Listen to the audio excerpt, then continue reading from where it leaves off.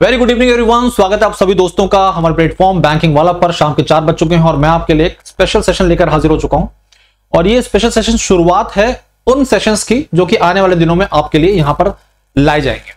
मेरे प्यारे दोस्तों, आपकी जानकारी के लिए बता दें, कल से आपके लिए हम एक नई सीरीज़ शुरू कर रहे हैं, जिसमें आप जनवरी से लेकर मार्च मंथ तक की इंपॉर्टेंट खबरों को पढ़ेंगे, वो भी कैटेगरी वाइज पढ़ेंगे। तो इस नज़रिए से हमने आपके लिए सेशन शेड्यूल्स किए हैं शेड्यूल किए हैं। और कल से आपको एक नए अंदाज में चीज़ें मिलेंगी तो ज़रूर से ज़रूर जुड़िएगा कल से सेशन में मेरे दोस्तों। और कल से आपके लिए सेशन जो है मिनिमम 50 मिनट का होने वाला है। इस नज़रिए से सेशन इंपॉर्टेंट होगा, अपने सभी साथियों को सेशन शेयर करिएगा। तो आज सभी दोस्तों का स्वागत करते हैं।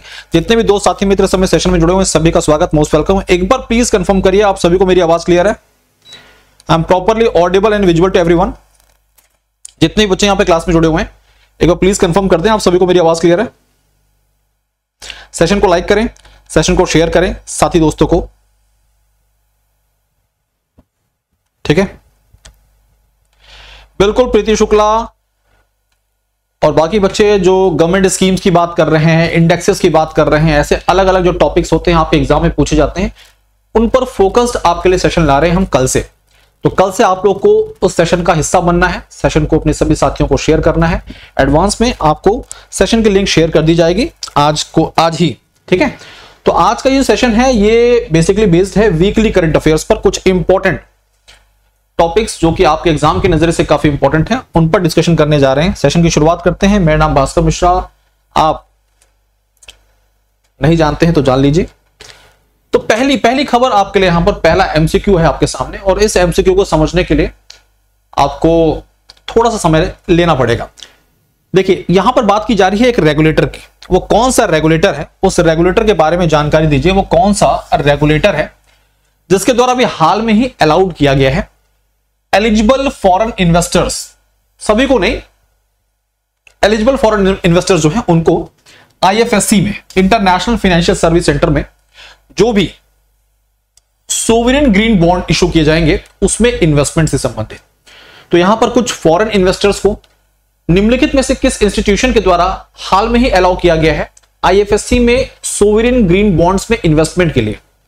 आंसर करिए फटाफट कमेंट बॉक्स में, आपके जवाब का इंतज़ार है। तूफानी गति से आंसर करना शुरू कर दीजिए। और यहाँ पर बच्चों के जवाब आ रहे हैं।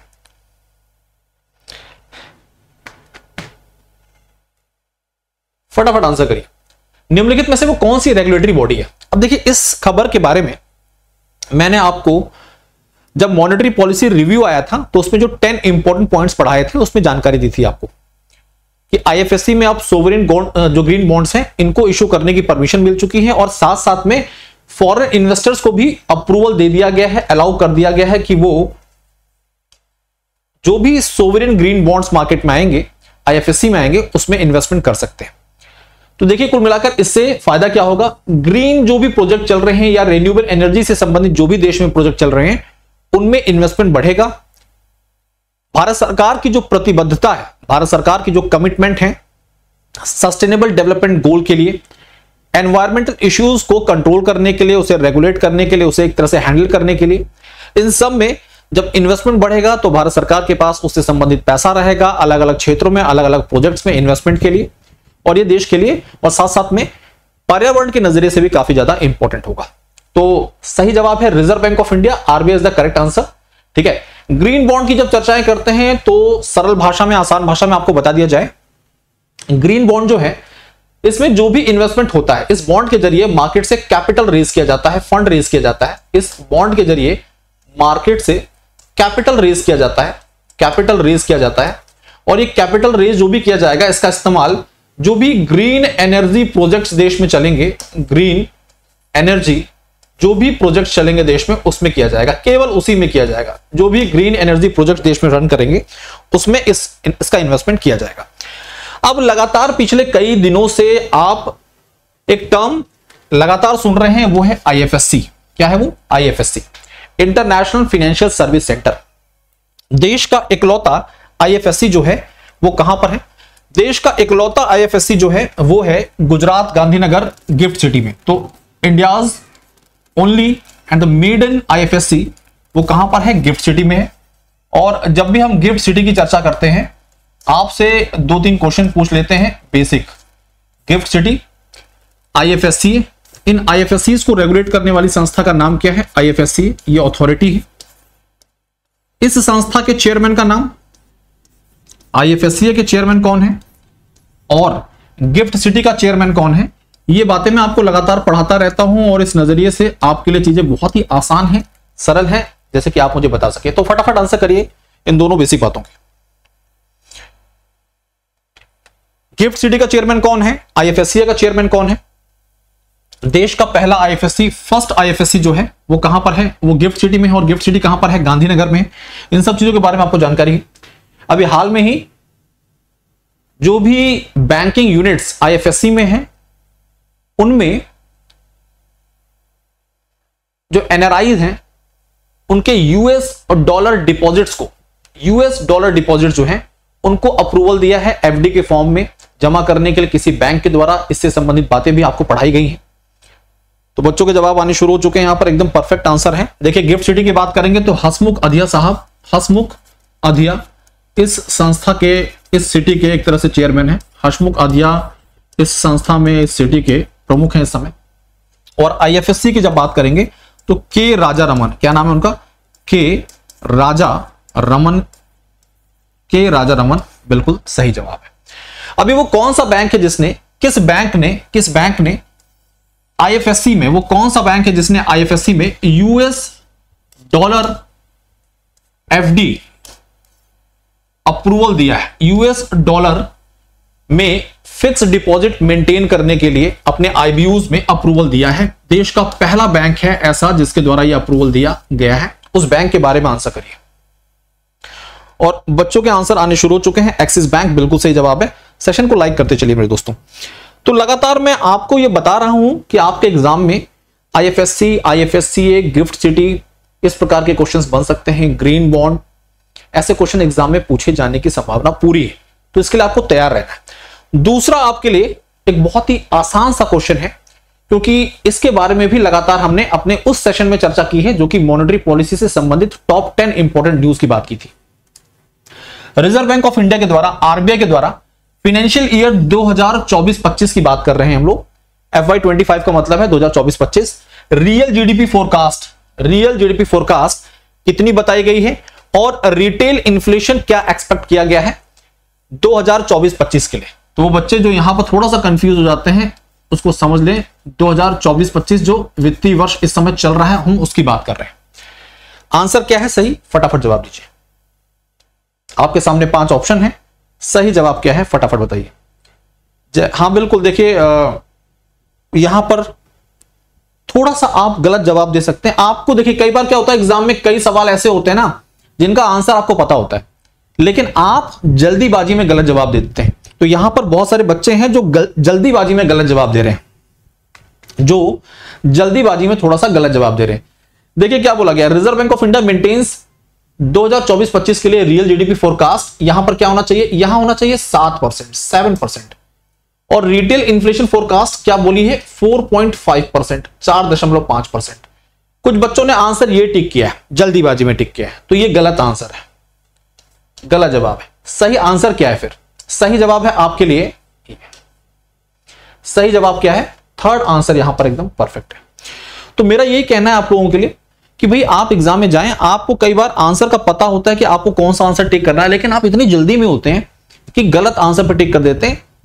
सही जवाब देने वाले होते हैं, लेकिन एक दैवी शक्ति होती है जो आपके आसपास घूम रही होती है और आपको प्रोवोक करती है कि यह आंसर टिक करो। तो आपकी कोशिश ये होनी चाहिए कि इस प्रकार से छोटी छोटी जो गलतियाँ होती हैं, उससे बचना है, ठीक है? अब मैं आपसे बोल दूँ कि भाई मॉनेटरी पॉलिसी एमपीसी एमपीसी के द्वारा लगातार कौन सी बार, लगातार कौन सी बार रेपो रेट को अनचेंज रखा गया है रेपो रेट को अनचेंज रखा गया है, आपको जानकारी देनी है।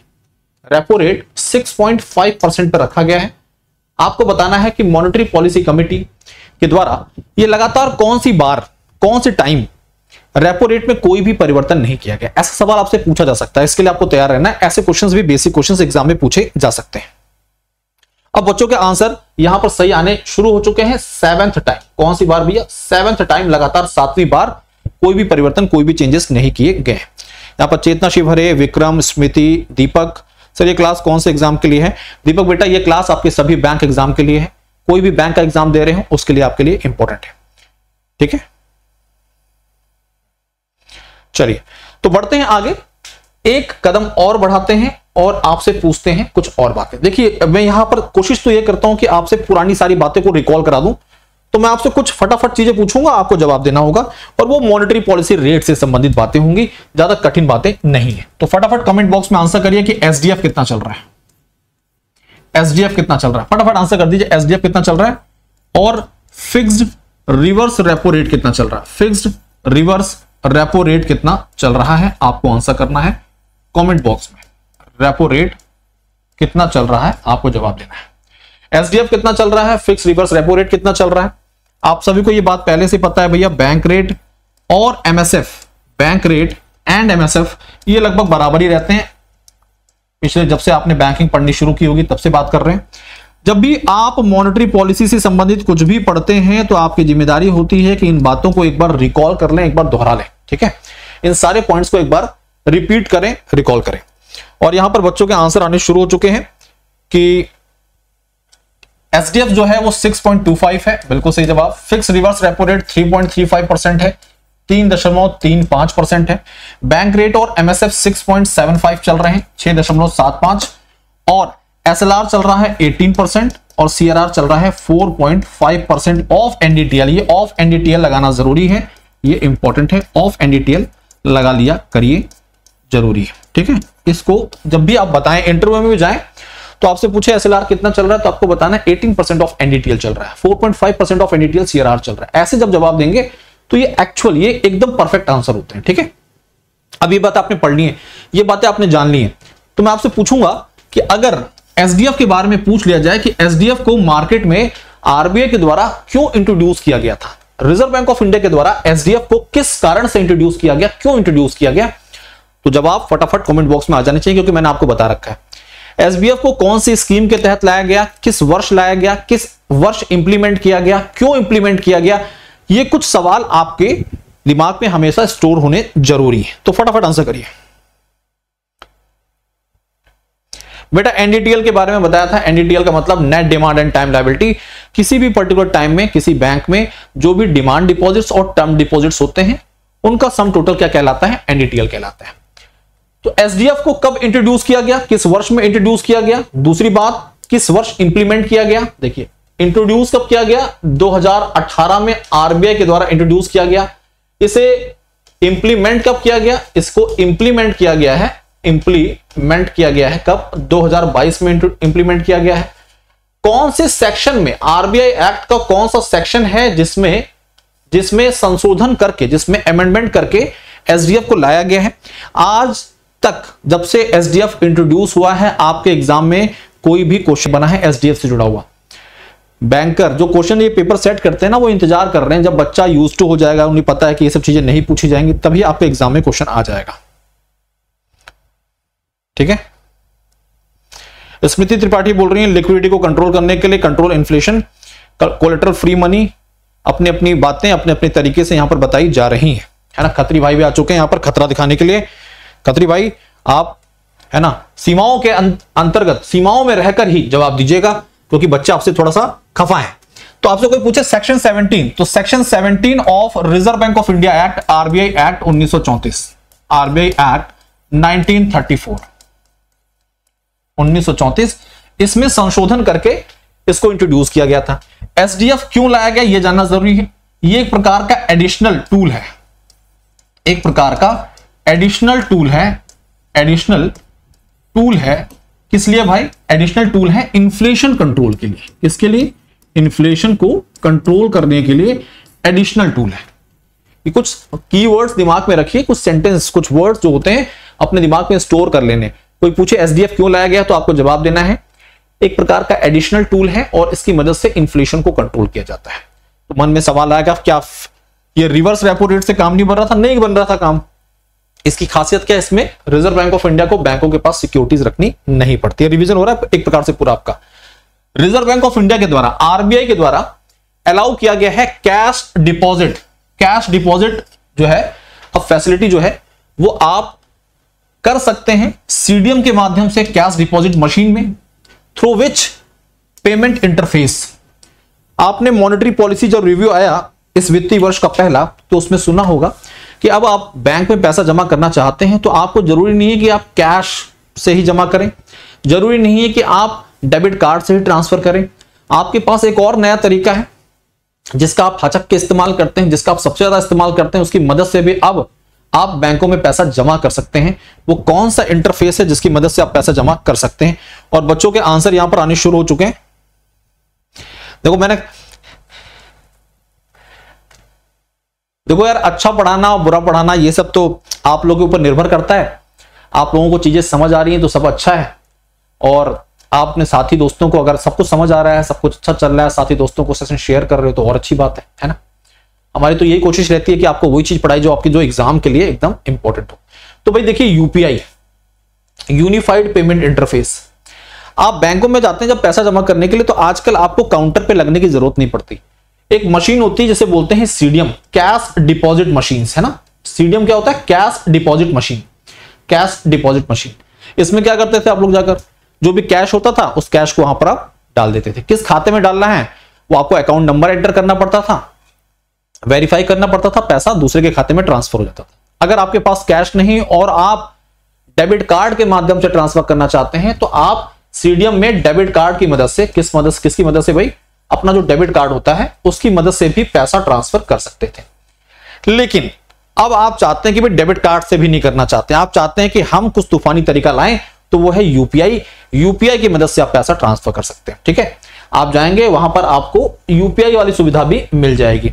अब आपसे कोई पूछ ले कि यूपीआई की जब बात करते हैं तो इस सेवा को, इस सेवा को किस वर्ष में इंट्रोड्यूस किया गया था, किस साल इसे लॉन्च किया गया था? और किस संस्था के द्वारा इसे लॉन्च किया गया है? तो यूपीआई की जब बात करते हैं तो ये वर्ष 2016 में 2016 में आया था और इसे लाने वाली जो संस्था है, वो देश में, वो देश में रिटेल पेमेंट को रेगुलेट करने वाली संस्था भी है। तो यानी कोई पूछे आपसे कि वो देश में retail payment regulatory body retail payments retail payments regulator कौन है? तो जवाब क्या आएगा? जवाब आएगा जवाब आएगा का क्या? जवाब आएगा एनपीसीआई अब एनपीसीआई के द्वारा अभी हाल में ही यूपीआई इंटरनेशनल लॉन्च किया गया। क्या लॉन्च किया गया? यूपीआई इंटरनेशनल हाल में ही नहीं बोलेंगे, इसे लॉन्च किया गया बहुत पहले ही। पिछले साल लॉन्च कर दिया गया था। यूपीआई इंटरनेशनल तो ये जो यूपीआई इंटरनेशनल है, इसको सबसे पहले यूपीआई इंटरनेशनल की मदद से आप दूसरे देश में जा रहे हैं, वहाँ पर जो भी क्यू आर कोड उनके होंगे अपने, आप वहाँ पर जाकर उन्हीं की करेंसी में क्यू आर कोड की मदद से ट्रांसफ़र कर सकते हैं, पेमेंट कर सकते हैं। आपको करेंसी एक्सचेंज कराने की ज़रूरत नहीं है। तो वो कौन सा पहला एप्लीकेशन है? वो कौन सा पहला पेमेंट सर्विस प्रोवाइडर है? कौन सा एप्लीकेशन है जिसके द्वारा इस सेवा को लॉन्च किया गया है सबसे पहले? सिंगापुर में स्टार्ट हो गया है। आंसर करिए फटाफट।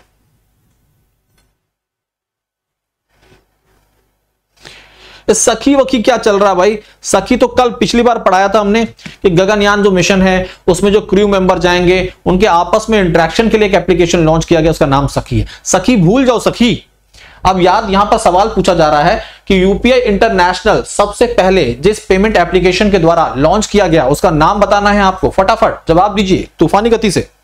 और बच्चों के आंसर आने शुरू हो चुके हैं। फ़ोन पे, याद रखिएगा किसके द्वारा लॉन्च किया गया है? फ़ोन पे के द्वारा लॉन्च किया गया। किसके द्वारा भाई? फ़ोन पे समीर निगम साहब इसके प्रमुख हैं फाउंडर भी हैं, और ये वॉलमार्ट का एक प्रोडक्ट हो चुका है इस समय। ठीक है भाई? याद रखिएगा इन सारी बातों को। यूपीआई इंटरनेशनल के माध्यम से क्या सुविधाएँ मिलेंगी? आप किसी दूसरे देश में जा रहे हैं, घूमने टहलने के लिए, आपको करेंसी एक्सचेंज करने की ज़रूरत नहीं, वहाँ पर जो भी क्यूआर कोड आपको मिलेंगे, सीधा फ़ोन पे से अपने, क्या करेंगे स्कैन करेंगे, और वहाँ की करेंसी में पेमेंट हो जाएगा आपका। ठीक है? ये सुविधा उपलब्ध करा दी गई है।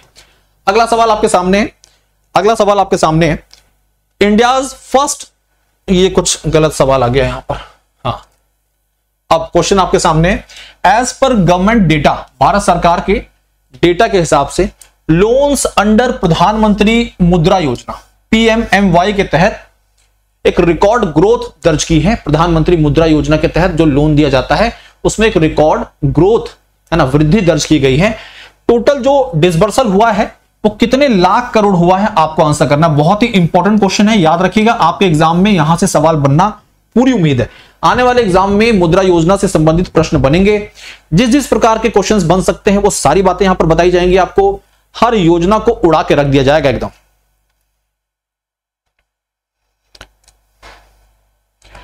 बताना as per government data loans under Pradhan Mantri Mudra Yojana shows record growth in disbursal of how much lakh lakh crore rupees three lakh crore rupees four lakh four point four lakh five point two eight lakh सही जवाब क्या है? Correct answer क्या है? कितनी growth दर्ज की गई है? और यहाँ पर चेतना शिव हरे बिल्कुल सही जवाब दे रहे हैं। ऑफिशियल रिशु सही जवाब इशु पाठक आंसर सही। तनु सिकरवार करेक्ट आंसर स्मृति, प्रीति, सभी के जवाब यहाँ पर। प्रीति वैश्य, आपका जवाब एकदम परफेक्ट है। विक्रम रेड्डी ने एकदम तूफानी आंसर दिया तो देखिए, जितने भी बच्चे यहाँ पर जवाब दे रहे हैं, उनके नाम ले लिए गए हैं, बाकी बच्चों के जवाब भी सही अपने आप ही हो जाएँगे। तो पाँच दशमलव दो आठ लाख करोड़ रुपए का डिस्बर्सल कब हुआ है? दो हज़ार तेईस चौबीस। ये जो वर्ष बीता है, वित्तीय वर्ष बीता है, इसकी हम बात कर रहे हैं। 2023-24 में प्रधानमंत्री मुद्रा योजना के तहत जो टोटल लोन डिसबर्स किया गया है, वो कितना है? वो है 5.28 लाख करोड़ रुपीस। देखिए, हमारी ऐसी क्लास है जहाँ पर आप लाखों करोड़ों में खेलते हैं। कितने में खेलते हैं मेरे दोस्तों? लाखों करोड़ों में खेलने का मौका मिलता है। आपको और किसी भी क्लास में लाखों करोड़ों में खेलने का मौका नहीं मिलता होगा। ठीक है? तो जो भी बैंकिंग की क्लास होती है, इकोनॉमिक्स की क्लास होती है, इसमें आपको हम ट्रिलियंस तक पहुँचा देते हैं। उससे आगे भी पहुंचाते हैं कई बार। उससे आगे भी पहुँचा देते हैं। इसी बात पे बता दीजिए, ट्रिलियंस में कितने ज़ीरो होते हैं? जिसने सवाल पूछा था? ये उसी पार्टी में शामिल हो गए हैं, जिस पार्टी के प्रवक्ता से प्रश्न पूछा गया था, ठीक है? तो पाँच दशमलव दो आठ लाख करोड़ रुपए ये लोन बांटा गया है। अब सवाल आपसे ये पूछ लिया जाए कि इस योजना में लगभग महिला ऑन्ट्रप्रन्योर्स को विमेन ऑन्ट्रप्रन्योर जो हैं विमेन ऑन्ट्रप्रन्योर जो हैं, इनको लगभग कितना लोन दिया गया है? है ना? जो विमेन ऑन्टरप्रिन्योर्स हैं, लगभग कितना प्रतिशत लोन टोटल 5.28 लाख करोड़ का महिला ऑन्टरप्रिन्योर्स महिला उद्यमियों को दिया गया है। आपके एग्ज़ाम में पूछ लिया जाएगा तो आप परेशान हो सकते हैं।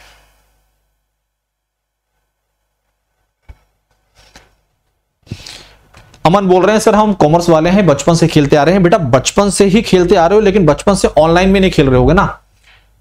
ऑनलाइन अगर हम बात करें तो यही वो क्लास होती है बैंकिंग की क्लास कॉमर्स की क्लास कहने का मतलब है। बाकी बहुत सारे दूसरे सब्जेक्ट्स होते हैं। है ना? रीजनिंग में आप करोड़ों में नहीं खेलेंगे। मैथ में खेलेंगे तो कुछ लाख तक ही पहुँच पाते हैं, करोड़ों में दिक्कत होने लगती है फिर। है ना? एक दो क्वेश्चन होते हैं आपके, जिसमें आप डीआई के क्वेश्चन होते हैं, जिसमें करोड़ तक पहुँच जाते हैं, लेकिन तभी इग्नोर करते हैं। लेकिन इस क्लास में आपको हम पैसों वाला बना देते भले आपके पास पैसा ना हो, लेकिन इस क्लास में जुड़कर आप पैसों में खेलना शुरू कर देती है। तो फटाफट आंसर कर दीजिए, महिला ऑन्टरप्रिन्योर्स को इस टोटल 5.28 लाख करोड़ के अंतर्गत कितना पैसा डिसबर्स किया गया है? और यहाँ पर सही जवाब आ रहे हैं, सही जवाब आ रहे हैं, लगभग अप्रॉक्स 70 परसेंट के करीब 70 परसेंट के करीब लगभग जो लोन है, वो महिला ऑन्टरप्रिन्योर्स महिला उद्यमियों को दिया गया है। महिला उद्यमियों को दिया गया है। ठीक है? ओके बच्चों तो 70 परसेंट का यहाँ पर क्राइटेरिया बताया जा रहा है। 70 परसेंट का क्राइटेरिया बताया अब मैं आपसे एक और क्वेश्चन पूछ लेता हूँ। प्रधानमंत्री मुद्रा योजना के तहत आपको मैक्सिमम मैक्सिमम कितना लोन मिल सकता है बिना किसी कोलेट्रल के? इस योजना के अंतर्गत मैक्सिमम आपको कितना लोन मिल सकता है बिना किसी कोलेट्रल के? आपको आंसर करना है। तो देखिए, यहाँ पर दो कंडीशन है। अगर आप कोलेट्रल फ्री लोन लेना चाहते हैं तो उसकी एक अलग लिमिट है। अगर आप किसी सिक्योरिटी के आधार पर लोन लेना चाहते हैं तो उसकी, उसका लिमिट अलग है, उसकी क्राइटेरिया अलग है। तो फटाफट जवाब दे दीजिए, सही जवाब क्या है? और जब भी हम बात करेंगे कोलेट्रल फ्री कोलेट्रल फ्री यानी कि बिना किसी सिक्योरिटी के, बहुत सारे बच्चे कंफ्यूज होते हैं कोलेट्रल फ्री सुनकर, उनकी जानकारी के लिए कोलेट्रल फ्री का मतलब है बिना विदाउट एनी सिक्योरिटी बिना किसी सिक्योरिटी के। विदाउट सिक्योरिटी ठीक है? आपको यहाँ पर 10 लाख तक का लोन मिलता है। कितने लाख तक का? 10 लाख तक लेकिन अगर आप, अगर आपको और पैसा चाहिए, और लोन चाहिए तो आप यहाँ पर सिक्योरिटी आपको पार करनी पड़ेगी और मैक्सिमम जो लोन मिल सकता है, वो 20 लाख तक का मिल सकता है अगर आप बिना किसी सिक्योरिटी के चाहते हैं तो 20 लाख तक का आपको मिल सकता है। ठीक है? आगे बढ़ते हैं। अब देखिए, ये जो यहाँ पर पॉइंट दिए गए हैं, बड़े ही इंपॉर्टेंट हैं, इनको ध्यान से पढ़ना है। भारत सरकार के डेटा के हिसाब से जो लोन डिसबर्स किया गया है प्रधानमंत्री मुद्रा योजना के अंतर्गत, उसने एक रिकॉर्ड ग्रोथ दर्ज की है और एक माइलस्टोन है फाइव लाख करोड़ रुपीज़ का, उसे क्रॉस कर लिया तो पाँच लाख करोड़ के माइलस्टोन को मुद्रा योजना के द्वारा, है ना, इस आंकड़े को पहली बार छुआ है। इससे पहले इस आंकड़े को इस योजना के अंतर्गत नहीं छू गया था, ठीक है? अब loan sanction in the last financial year यानी कि हम बात कर रहे हैं 2023-24 की, इस वित्तीय वर्ष की चर्चा करते हैं जब तो इसके अंतर्गत जो पैसा मिला है, पैसा दिया गया है मार्केट में 5.28 लाख करोड़ रुपीस है। अगर हम इससे पिछले वर्ष की बात करें 2022-23 की बात करें तो चार दशमलव चार शून्य लाख करोड़ रुपया डिस्बर्स किया गया था इस योजना के अंतर्गत। इस योजना में लगभग सत्तर परसेंट जो पैसा है लोन जो है बेनिफिशियरी जो है, यानी कि लाभार्थी जो है, वो महिलाएँ और इस तरह से अगर देखा जाए तो ये एक एक प्रकार की जेंडर इक्वलाइजर स्कीम के तौर पर कैटेगराइज किया जा सकता है। देखिए, इस प्रकार की योजना जहाँ पर महिलाओं को तवज्जो ज़्यादा दी गई है, ऐसी योजनाओं को हम जेंडर इक्वलाइजर स्कीम के तौर पर कैटेगराइज करते हैं। जेंडर इक्वलाइजर स्कीम बोला जाता है। जेंडर इक्वलाइजर स्कीम के तौर पर कैटेगराइज किया जाता है। ऐसी ही एक और योजना थी, PM Svanidhi, Pradhan Mantri Svanidhi scheme Svanidhi scheme इसका डेटा आया था और इस डेटा में, इसके डेटा में भी बताया गया था लगभग 50 परसेंट के करीब, यानी कि 47 परसेंट बताया गया था पिछले साल। यह भी एक प्रकार की जेंडर इक्वलाइजर स्कीम है। जेंडर इक्वलाइजर स्कीम है। लगभग 50 परसेंट के करीब जो इसके तहत लोन दिया गया था, वो महिलाओं को दिया गया था। ठीक है? ये सारे आंकड़े आपको पढ़ने हैं, याद रखने हैं। यहाँ पर हिंदी में सारी बातें दी गई हैं, वो बच्चे जो हिंदी में चीज़ों को सुनना चाहते हैं, समझना चाहते हैं, पढ़ना चाहते हैं, उनके लिए यहाँ पर सारी बातें दी गई हैं। ठीक है दोस्तों? अब इस योजना के बारे में बहुत सारी बेसिक बातें आपको जानने का मन करता होगा। बहुत सारी बेसिक बातें जानने का मन करता होगा। सबसे पहले जब हम बात करते हैं इस योजना की तो योजना का नाम है प्रधानमंत्री मुद्रा योजना। इस योजना को लॉन्च कब किया गया? इस योजना को लॉन्च किया गया 8 अप्रैल को। कब लॉन्च किया गया दोस्तों? 8 ऑफ़ अप्रैल 8 ऑफ़ अप्रैल 2015 इस योजना को 8 अप्रैल 2015 को लॉन्च किया गया था। 8 अप्रैल 2015 को इस योजना को लॉन्च किया गया था और इसका मेन ऑब्जेक्टिव क्या था? ठीक है? To provide to provide financial support to provide financial support वित्तीय to provide financial support financial support for very small businesses for very small businesses for very small businesses जो बहुत ही छोटे बिजनेसेस हैं, ठीक है जी? उनको वित्तीय सहायता देने की बात कही थी और वो भी कितने तक का? Up to up to ten lakh दस लाख तक का वित्तीय सहायता देने की बात कही गई थी, ठीक है? दस लाख तक की वित्तीय सहायता देने की बात कही गई थी। इसी के अंतर्गत आते हैं बेटा शिशु, इसी के अंतर्गत आते हैं किशोर, और इसी में आते हैं तरुण। ये बच्चों के नाम नहीं है, आप ये समझ सकते हैं कि हाँ इन चीज़ों को सुनकर बच्चों के नाम रखे जाते हैं। भारत सरकार के द्वारा बहुत सारी ऐसी योजनाएँ लॉन्च की गई हैं, जो कि ऐसा लगता है किसी बच्चे के नाम है है ना? तो शिशु शिशु के तहत आपको पचास हज़ार फिफ्टी थाउज़ेंड तक का loan up to fifty thousand ये याद रखिएगा अप टू लगा देना यहाँ पर, है ना? इसे आप बोल सकते हैं अप टू फिफ्टी थाउज़ेंड यहाँ पर आपको अप टू फाइव लैख और अगले में आपको अप टू टेन लाख तक का लोन मिलता था। ठीक है भाई? इसमें जो ये प्रधानमंत्री मुद्रा योजना है, इसको आप ऐसे भी बोल सकते हैं मुद्रा स्कीम। और ये जो मुद्रा है, इसका फुल फॉर्म है। इसका फुल फॉर्म क्या है? इसका फुल फॉर्म है micro unit development and refinance agency तो micro unit development and refinance agency full form है। मुद्रा योजना के तहत मेरे दोस्तों, मुद्रा बैंक मुद्रा बैंक का गठन किया गया। मुद्रा बैंक जो भी एग्जिस्टिंग बैंक है हमारे, उसके तहत इस लोन को बांटा जाता है। मुद्रा बैंक के तहत आपको मिलता है मुद्रा लोन कौन सा लोन मिलता है? मुद्रा लोन मिलता है। और आपसे अगर पूछ लिया जाए, आपसे अगर पूछ लिया जाए कि ये जो बैंक है इस बैंक का या फिर इस योजना की जब बात करें, इसके पेरेंट बैंक कौन है? Parent bank